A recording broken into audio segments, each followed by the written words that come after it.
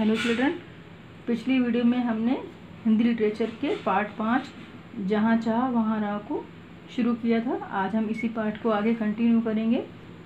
हम इस पैराग्राफ को पढ़ेंगे। इला गाने में तो उनका साथ देती, पर उनके साथ पेंगे नहीं ले पाती। पेंगे यानी झूले को आगे पीछे ले जाना। रस्सी पकड़ने को हाथ बढ़ाती, मगर हाथ तो उठते ही नहीं थे।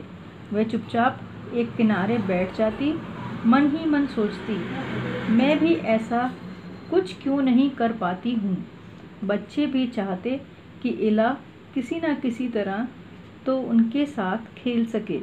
कभी कभार वह पकड़म पकड़ाई और विष अमृत के खेल में शामिल हो जाती।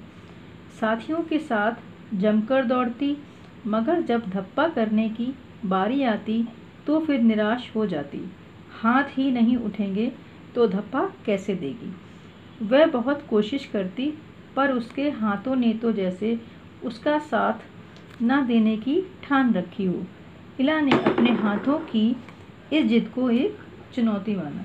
इस पैराग्राफ में बताया गया है कि अब जो इला थी, उसके पैर तो सही तरीके से काम करते थे, मगर हाथ नहीं। जैसे बच्चे झूला झूलते थे, लेकिन इला नहीं झूल पाती थी।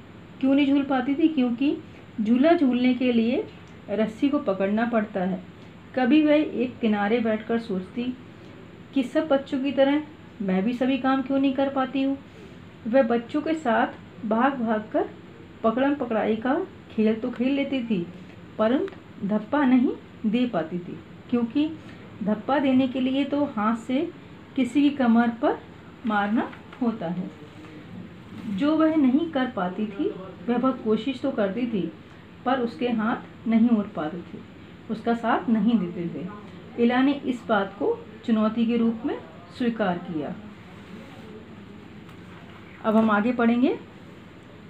उसने वह सब अपने पैरों से करना सीखा, जो हम हाथों से करते हैं। दाल भात खाना, दूसरों के बाल बनाना, फर्श बुहारना। फर्श बुहारना का मतलब होता है झाड़ू लगाना। कपड़े धोना, तरकारी काटना यहाँ तक कि तख्ती पर लिखना भी। उसने एक स्कूल में दाखिला ले लिया। दाखिले का मतलब होता है एडमिशन लेना। दाखिला मिलने में भी उसे परेशानी हुई।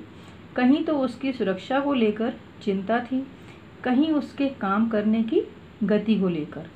किसी काम को तो वह इतनी फुर्ती से कर जाती कि देखने वाले दंग रह जाते। दंग मतलब होता है आश्चर्यचकित हो जाना। पर किसी किसी काम में थोड़ी बहुत परेशानी तो आती ही थी। वह परेशानियों के आगे घुटने टेकने वाली नहीं थी। घुटने टेकना मतलब होता हार मान लेना। उसने दसवीं कक्षा तक पढ़ाई की। वह दसवीं की परीक्षा पास नहीं कर पाई। इला को यह मालूम ना था कि परीक्षा के लिए उसे अतिरिक्त समय मिल सकता है। अतिरिक्त मतलब होता है अलग से एक्स्ट्रा उसे ऐसे व्यक्ति की सुविधा भी मिल सकती थी जो परीक्षा में उसके लिए लिखने का काम कर सके। यह जानकारी इला को समय रहते मिल जाती तो कितना अच्छा रहता। उसे इस बात का दुख है पर यहाँ आकर सब कुछ खत्म तो नहीं हो जाता ना। अब इस पैराग्राफ में बता बताया गया है कि हम जो भी काम अप, अपने हाथों से करते हैं तो इला कैसे करती थी? इला पैरों से करती थी जैसे दाल भात खाना यानी खाना खाना दूसरे के बाल बनाना झाड़ू लगाना सब्ज़ी काटना यहाँ तक कि तख्ती पर लिखना भी। उसने एक स्कूल में एडमिशन भी लिया था, लेकिन उसमें उसे परेशानी हुई। कहीं तो उसकी सेफ्टी को लेकर, सुरक्षा को लेकर चिंता थी, कहीं उसकी काम करने की स्पीड को लेकर। किसी काम को तो वह इतनी जल्दी कर लेती थी कि लोग देखते रह जाते थे, लेकिन किसी काम में उसे परेशानी भी होती थी, लेकिन वो इन परेशानियों से कभी भी हार नहीं मानती थी। उसने दसवीं कक्षा तक पढ़ाई तो की, लेकिन वो दसवीं कक्षा को पास नहीं कर पाई। उसे उस टाइम उस समय ये नहीं पता था कि उसे परीक्षा देने के लिए अलग से समय एक्स्ट्रा टाइम मिल सकता है। और उसे एक ऐसे व्यक्ति की भी सुविधा मिल सकती थी, जो परीक्षा में उसके लिखने का काम कर सके।